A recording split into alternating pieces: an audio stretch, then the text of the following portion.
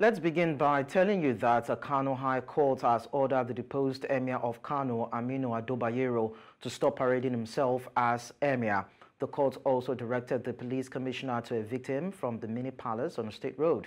The court, presided over by Justice Amina Adamu Aliyu, gave the order on Monday. Similarly, the order restrained Alhaji Nasiru Ado Bayero, Ibrahim Abubakar II, Kabiru Muhammad Noah, and Alhaji Aliyu Ibrahim Gaya from parading themselves as emirs of Bichi, Gaya, Rano, and Karaye.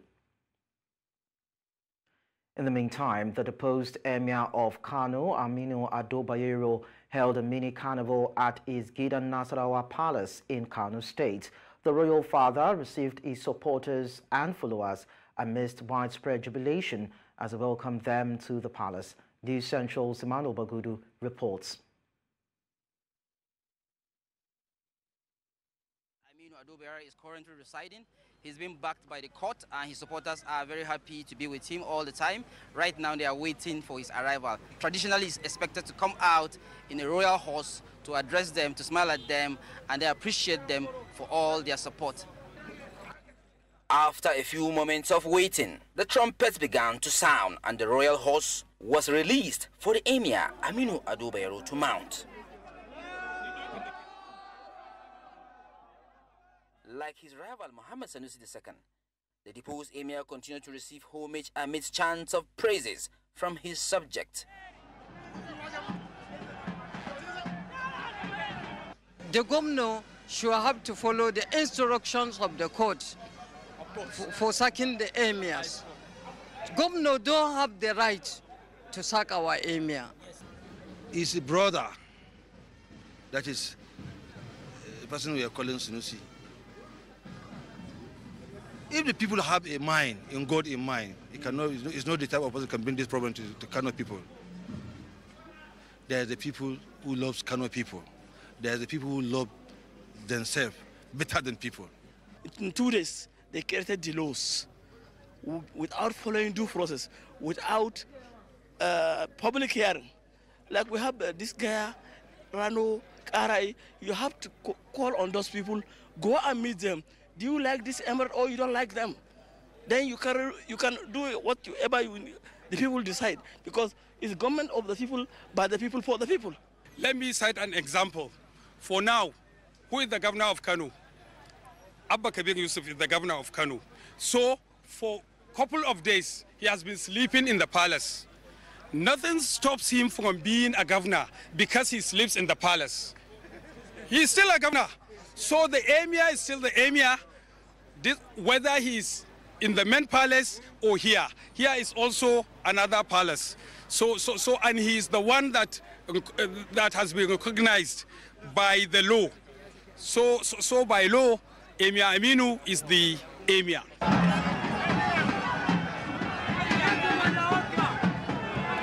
That was another victory parade, but this time from the court-backed Emir of Kano, His Royal Highness Aminu Ado Bayero.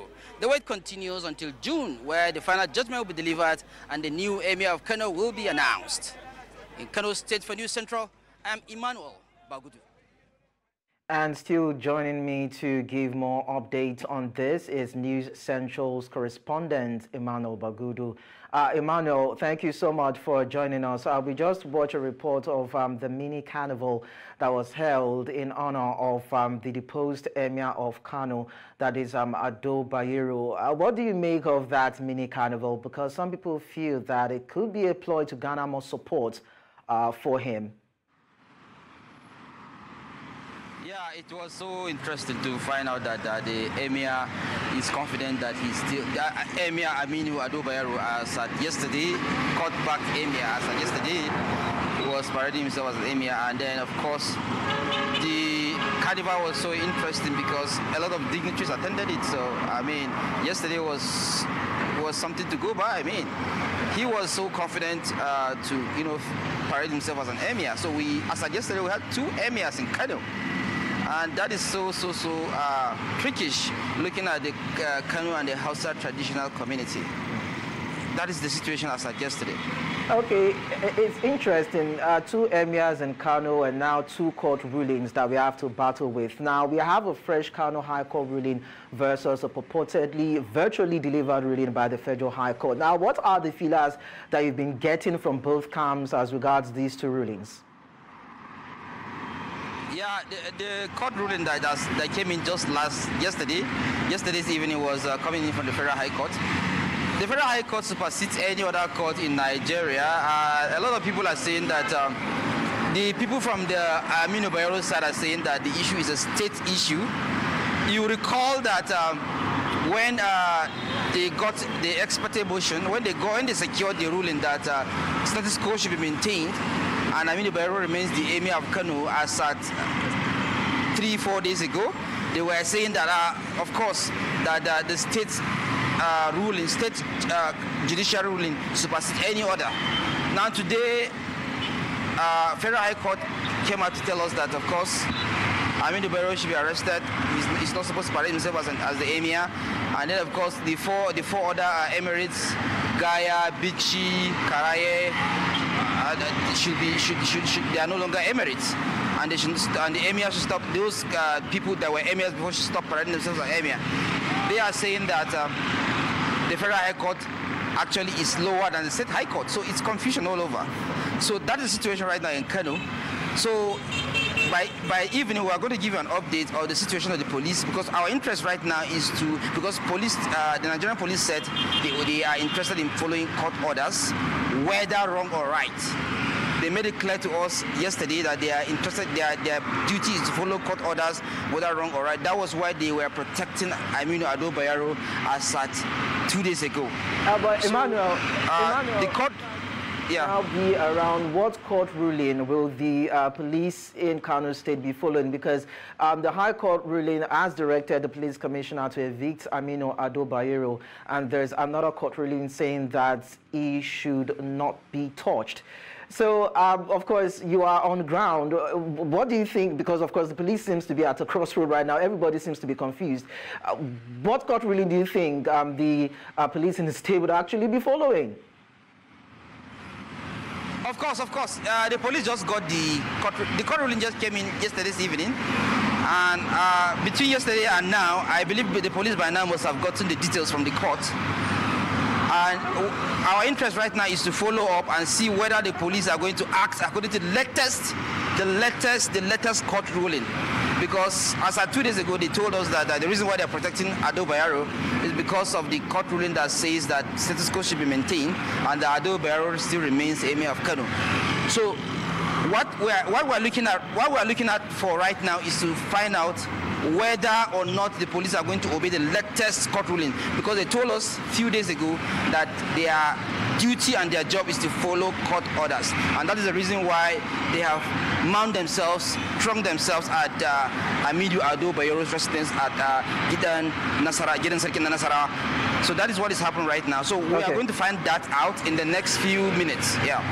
Okay, well, uh, uh, Emmanuel, quickly, before I let you go, um, the thoughts um, of those who actually attended the mini carnival might not really represent the total feeling or expectations of the people in Kano State. But then, according to what we know, the Commissioner for Information in the state, that is Baba Dantiye, reportedly said that residents in Kano are satisfied or welcome the reinstatement of um, Sanusi Lamido as the emir of Kano. Well, you've been on the ground and you've been monitoring the process all through for the past couple of days that you've been there. What do you think the general feeling is like? Is it tilting towards uh, Sanusi Lamido or Adobayer?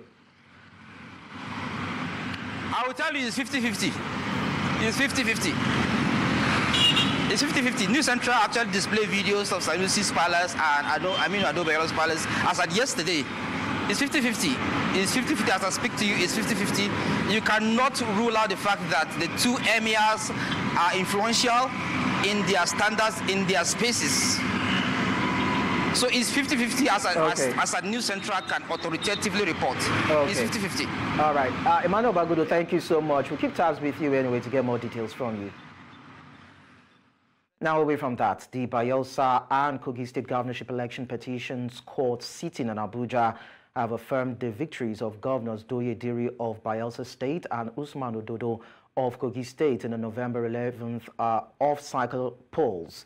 In a unanimous judgment, both tribunals held that the petitions were lacking in merit and the petitioners failed to prove their cases before the courts. Marvelous Obomanu reports. A sound of victory and a clear reason to celebrate by supporters of the Bayelsa and Kogi State governors, chanting songs in celebration following the decision by both tribunals which reaffirmed the election victories of their principals. In the case of Bayelsa, Justice Adekunle Adeleye-led three-member tribunal dismissed the petition filed by the All Progressives Congress and its candidate, Timipre Sylva, as lacking in merit. This did not go down well with the petitioner. Well, unfortunately, the decision was given by the tribunal today against us. We are officers in the Temple of Justice. We will study the judgment and then we shall decide what to do. The case of our opponents was built on a very weak foundation. And if you listen to the judgment, you see that their case, the evidence was deficient both in quality and in quantity. And as the court said, the allegations were not proved. This judgment is fair, and I want all parties to accept this.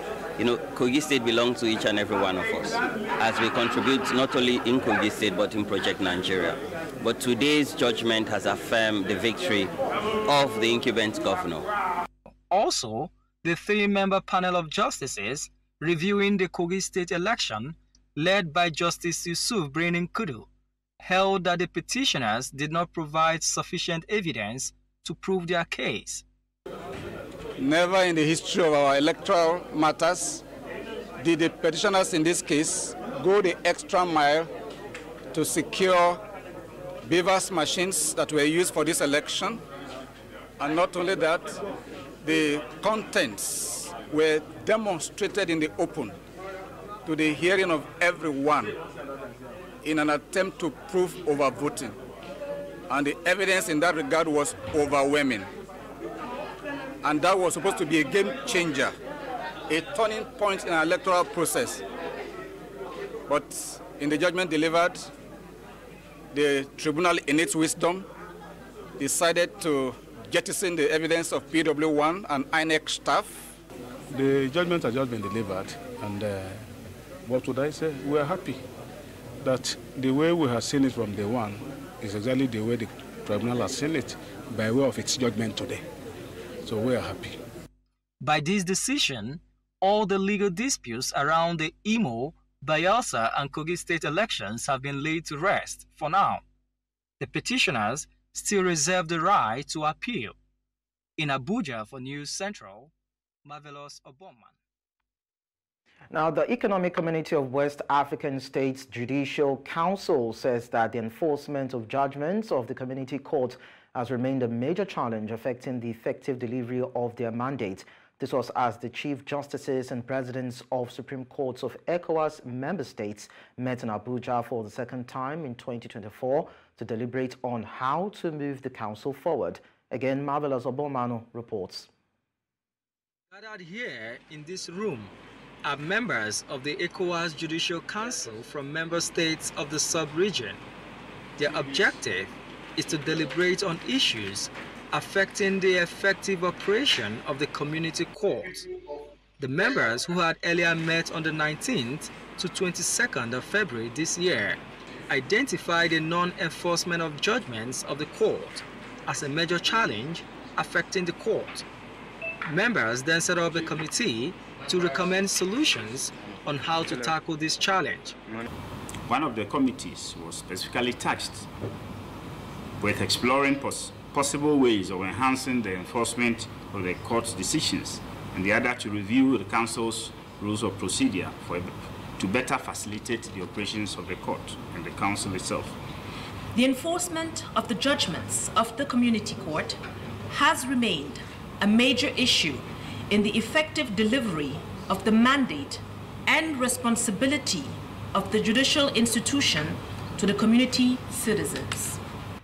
The ECOWAS Judicial Council says that it intends to recommend solutions to the ECOWAS Commission on how to improve access to justice in the sub-region. The challenges confronting the judiciary and justice system in general across the states are identical in terms of judicial autonomy, provision of funding, and infrastructural facilities for the courts, among others. The Council also discussed extensively the issues affecting the growth of democracy, credible elections, and the recent spate of military takeovers in the region. The judiciary should rise to the occasion in helping to stem the factors that precipitate military incursion into governance. Process of adherence to con conduct of free and fair elections and constitutional governance must be protected. In this era where instability and insecurity are overwhelming our community, the role of the judicial sector is crucial in conflict prevention through the promotion and defense of rule of law and human rights. I humbly urge all of us to contribute meaningfully to the deliberations for the two days ahead and develop concrete recommendations to be sent to the authority of heads of state and government to improve regional justice delivery in sub-region through the ECOWAS court. With the Judicial Council now keen on ensuring access to justice for citizens, it is hoped that this will grow democracy in the sub-region.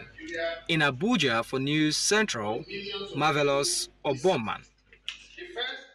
The year 2024 has been a roller coaster ride for the Nigerian Naira. New Central's business correspondent, Perpetua Fasumi Peter, who has been tracking the Naira in President Bola Ahmed Tinubu's first year, reports that it has been a year of promises, pronouncements and policies aimed at taming inflation, stabilizing the exchange rate, and ultimately bringing some peace to the Nigerian Naira. But as the central bank achieved these goals under Governor Olayemi Cardoso, uh, we will tell you more in this report. The budget that I've glimpsed. On May 29, 2023, Nigeria's President Bola Tinubu pledged to unify the country's exchange rate, and by June 14, the Central Bank of Nigeria, CBN, confirmed it had instituted a managed float, causing the naira to depreciate from 464 naira 50 kobo to about 700 naira within 24 hours. The way it is at the moment, uh, more businesses would fold up because you cannot do business in Nigeria without forex. We are, whether we like it or not, we are still heavily import dependent. And the only uh, means of transaction is forex, particularly dollars. Inflationary pressure.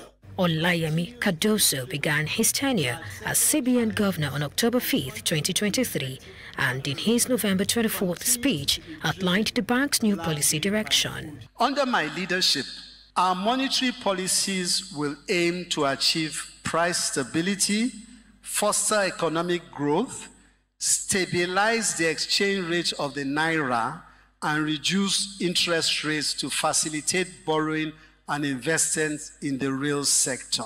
New foreign exchange guidelines and legislation will be developed, and extensive consultations will be conducted with banks and FX operators before implementing any new requirements.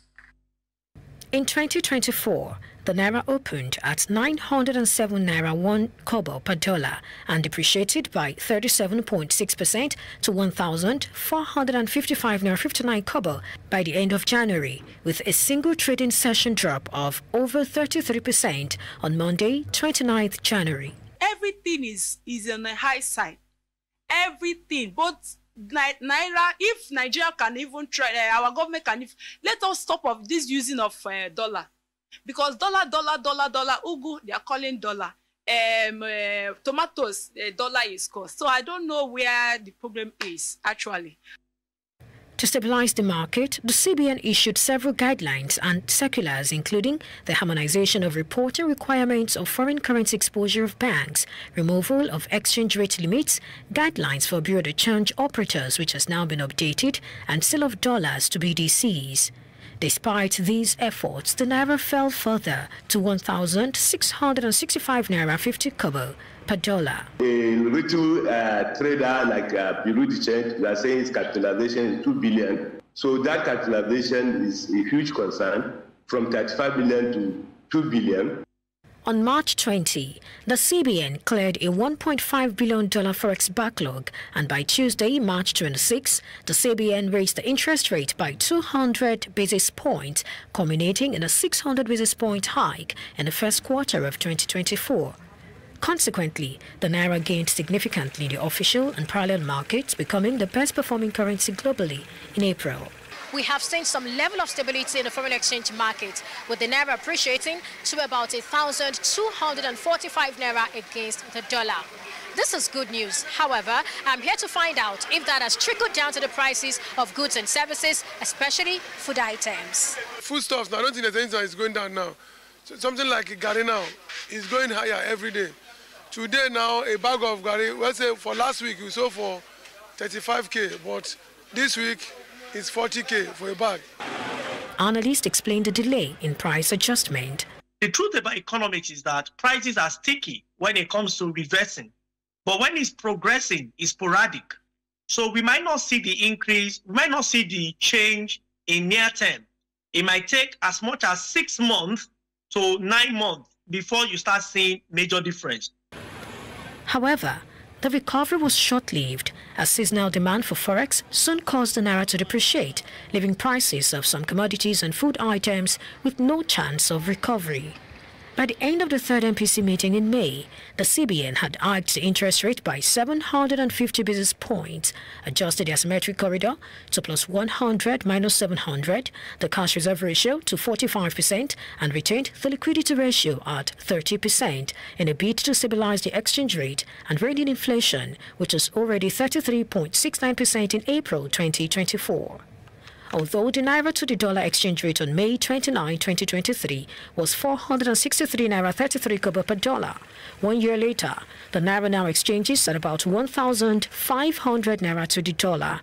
This is despite CBN's efforts to stabilize the exchange rate and curb inflation with analysts expecting disinflation by Q3 2024.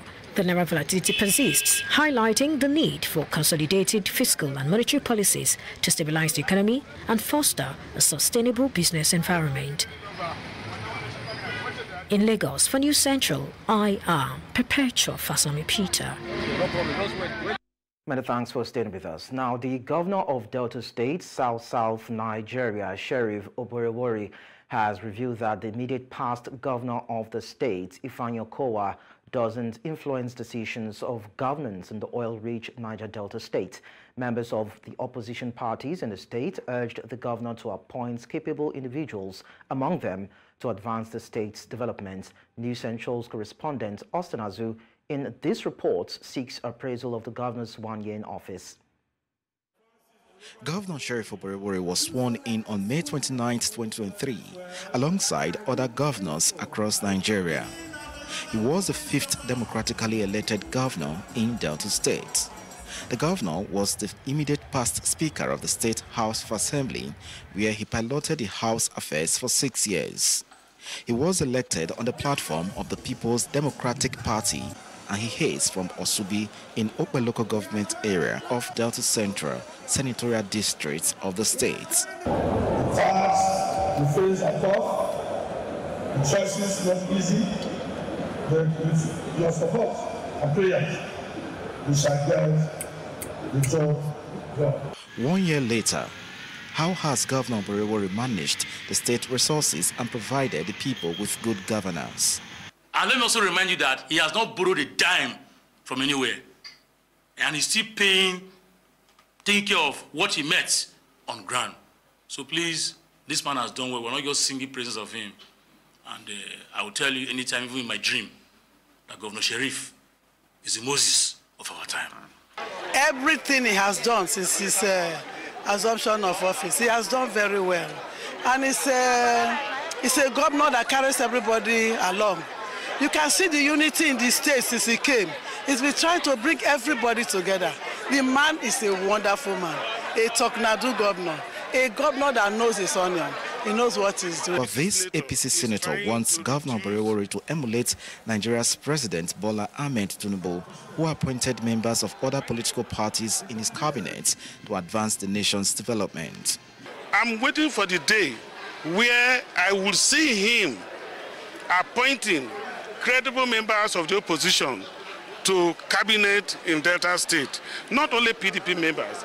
In this country, at this point in time, where everything is not going very well, we need a cross-fertilization of ideas. It is only when we do that that we can move this country from one point to the other. Meanwhile, Governor Oborevwori is here alongside top political stakeholders in the state, including two former governors, Emmanuel Uduaghan and Ifeanyi Okowa, to mark the first anniversary Thanksgiving of his administration.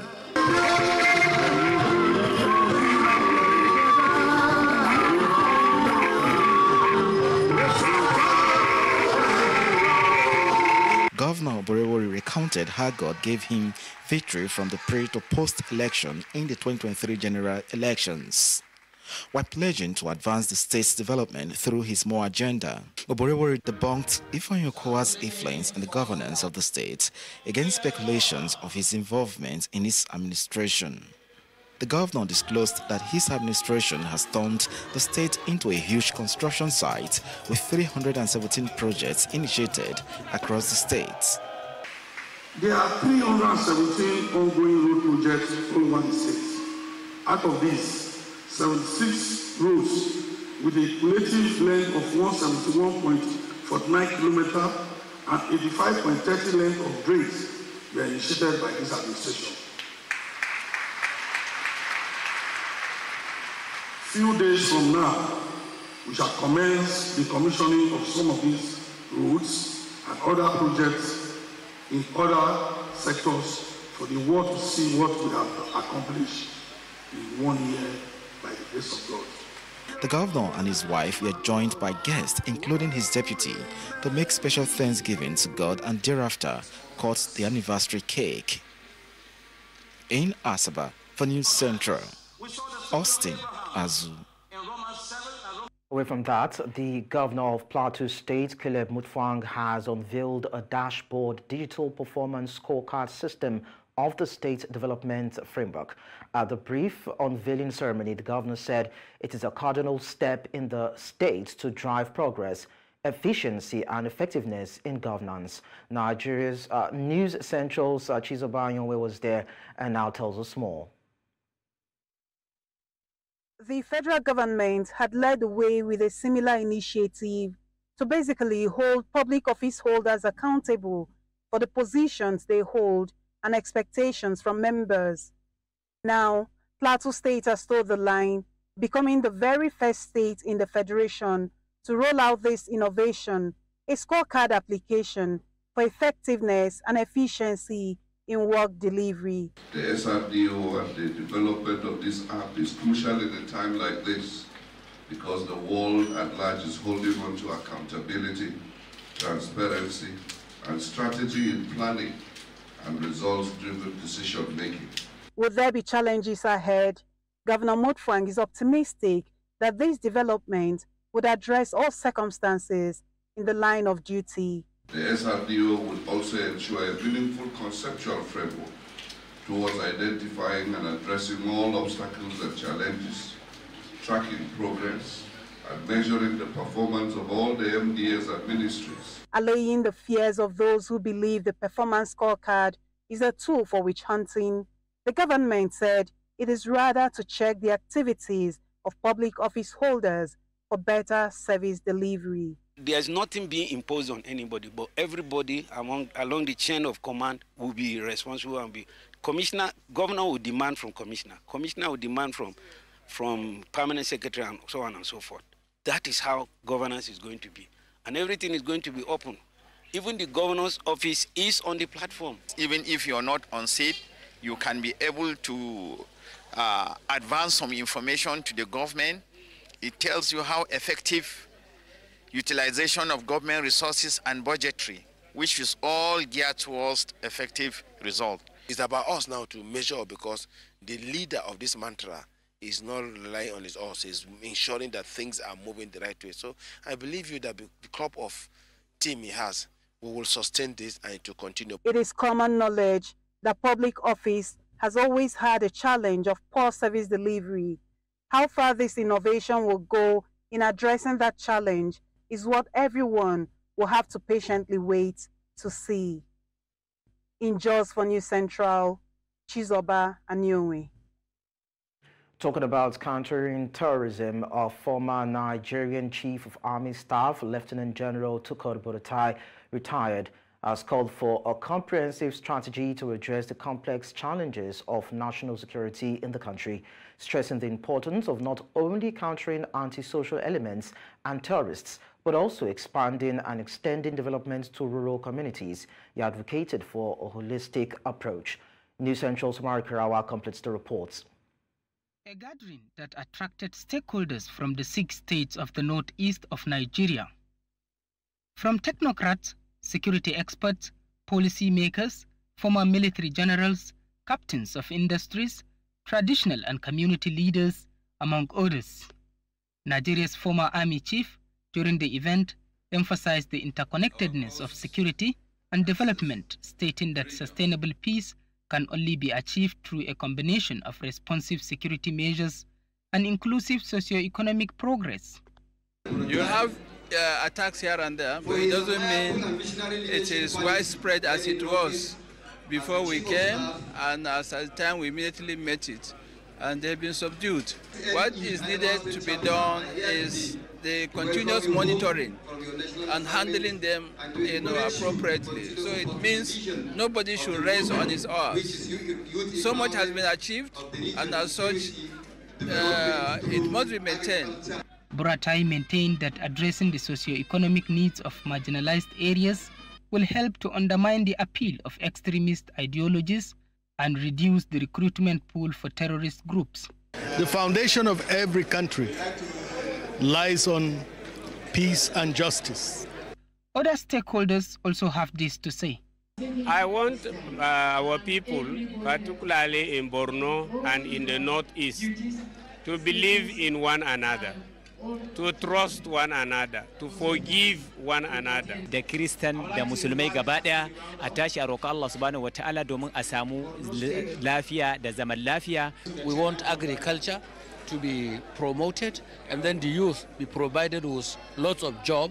And then finally we want power. Civilians has our roles to play the way the way we are, we are playing. The roles that we are playing we need more people to come in and um, and, and play that role assist the Nigerian military and also uh, well uh, use the non-kinetic means in order to to, to, to regain peace Good governance through a holistic strategy involving security operations and community development is said to remain the cornerstone for sustainable peace. In Maiduguri for News Central, Umaru Kirawa. Now to address the humanitarian needs in Borno State, the federal government of Nigeria has delivered 36,450 bags of emergency assorted food items to the state government. The relief materials, which include maize, millet and sorghum, were drawn from the National Strategic Reserve and are intended to support vulnerable populations in various communities. Again, News Central's Mark Karawa tells us more. The representative of the National Emergency Management Agency handed over the food items to the state governor, Professor Babagana Zulum, at a ceremony held in Maiduguri, the Borno state capital. He stated that the federal intervention was a crucial step in providing immediate assistance to the affected communities in Borno state. We will recall that improvement of this response to reduce the impact of the current economic downturn being experienced in the country in line with Renewed Hope agenda. Mr. President approved the release of 42 metric tons of associated food commodities from the National Strategic Defense Reserve under the custody of Federal Ministry. I want to express my sincere appreciation to the federal government under the leadership of President Bola Ahmed Tinubu for his continuous support to the less privileged people in our state, not only in our state, but indeed the northeastern states and in Nigeria in general. I want to commend the Office of the Vice President. I want to commend NEMA. I want to commend SEMA. And I also want to commend the Office of the National Security Advisor for this great initiative.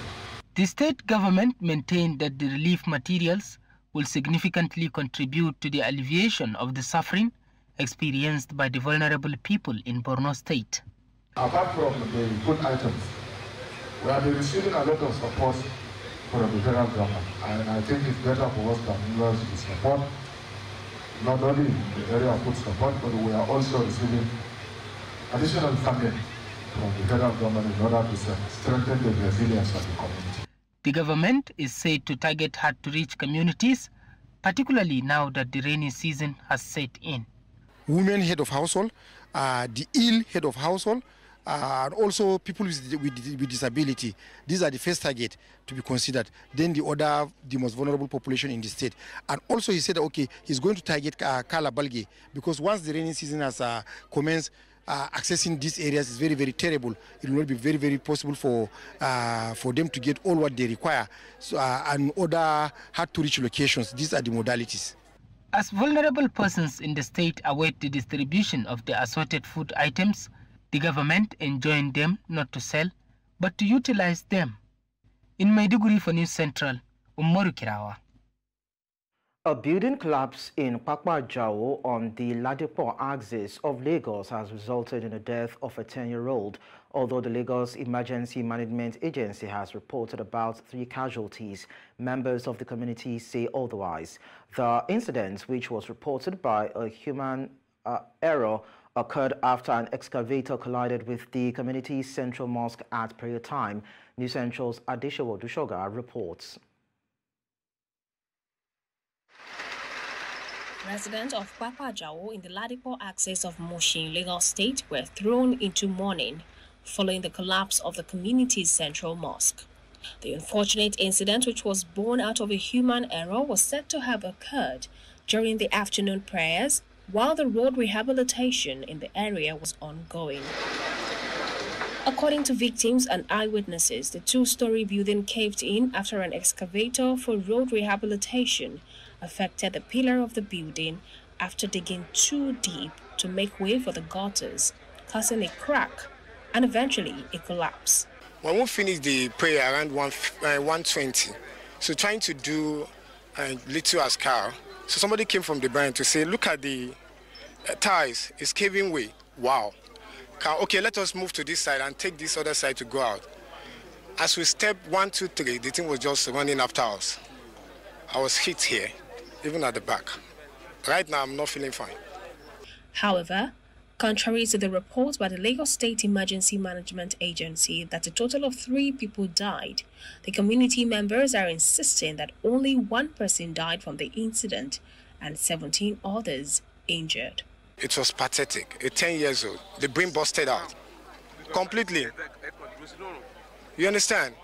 So we're able to pull the second person out too, the leg gone. I just saw a crack inside the mosque from up to down. I was very surprised that what kind of a crack is this like? This crack, eh, I just let me just go out. At the entrance, that was when the building just collapsed immediately.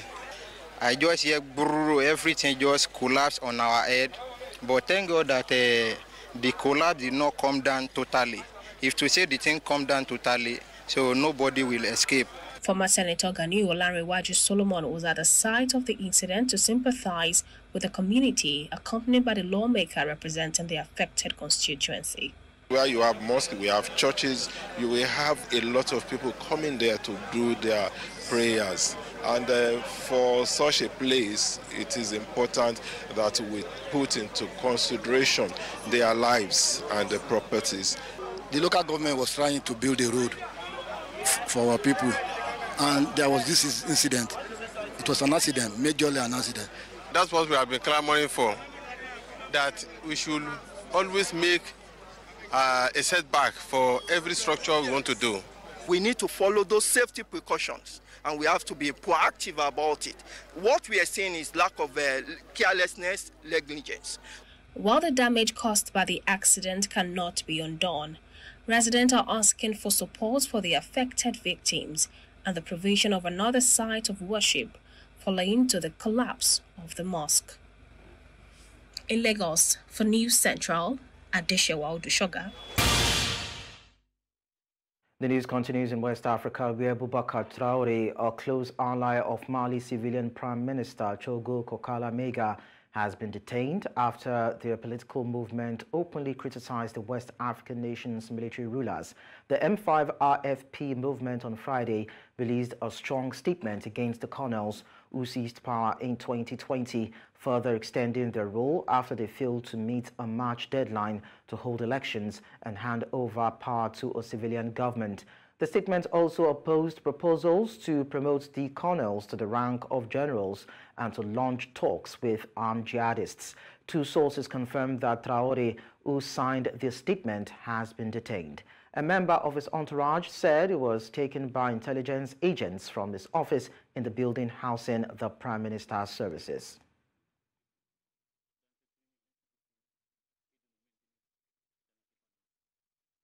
And now in Central Africa, the government of Allamaye Halina Chad's new prime minister has been announced by the Secretary General of the Presidency, Mahamat Alhabo in N'Djamena.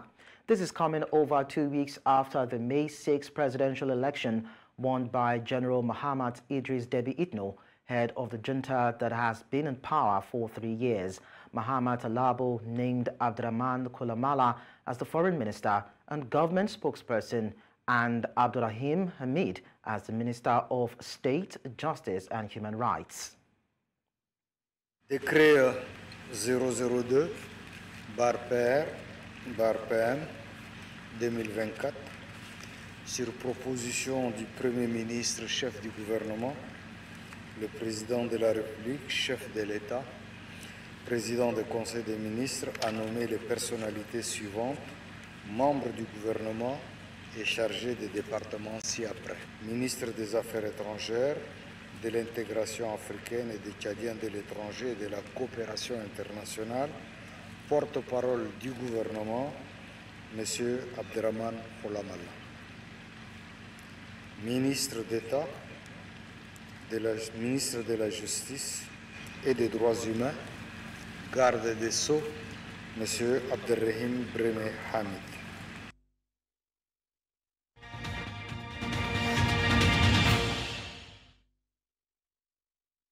In sports, Nigeria Super Eagles defender Leon Balogun has extended his deal with the Scottish League giants Rangers. The 35-year-old returned to Ibrox uh, last summer for a second spell after spending 12 months at the EFL Championship side QPR. Balogun spoke about his desire to extend his contract after Saturday's Scottish Cup final defeat to Celtic, and it appears his wish has been granted.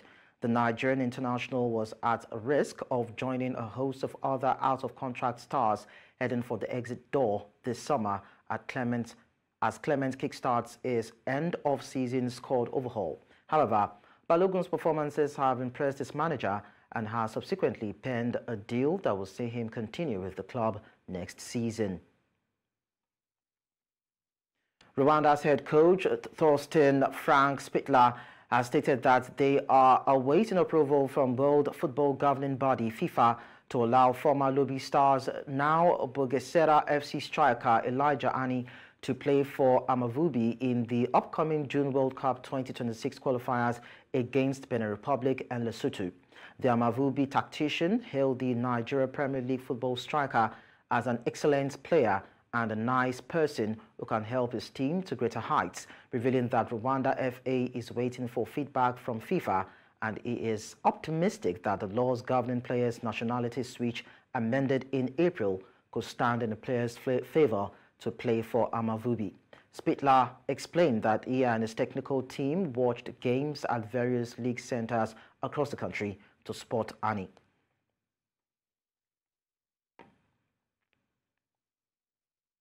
And that's all at this hour. But before we go, we take a look at some of our major stories. Deposed Emir of Kano, Ado Bayero, others have been ordered to stop parading themselves as emirs. Mali junta has arrested ally of Prime Minister.